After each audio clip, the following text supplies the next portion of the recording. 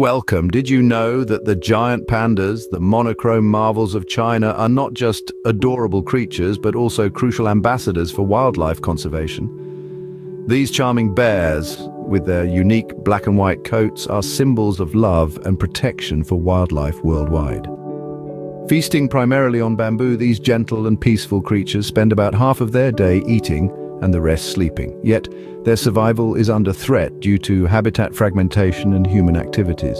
Preserving the diverse bamboo forests of China's mountains and protecting these wonderful bears is not just an act of kindness, but a necessity for maintaining ecological balance.